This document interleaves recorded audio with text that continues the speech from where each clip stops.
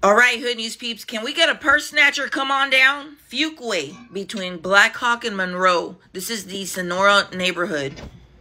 I received the following message. It says, Hi, Grizzy. My neighbor was unloading groceries in broad daylight earlier yesterday when someone decided to take her purse and casually walk off. Everyone in the neighborhood has helped by providing footage from their cameras, but we want to come on down. We work hard and people really think they can steal and get away with it? No. All right, Hood News peeps, be on the lookout. Here are some surveillance images, and we can see the purse right there. So be on the lookout. Can we get a come on down? Please help with this come on down. This is just horrible to watch. Like, this person goes out of their way, jumps fences and everything. Just give the lady back her purse.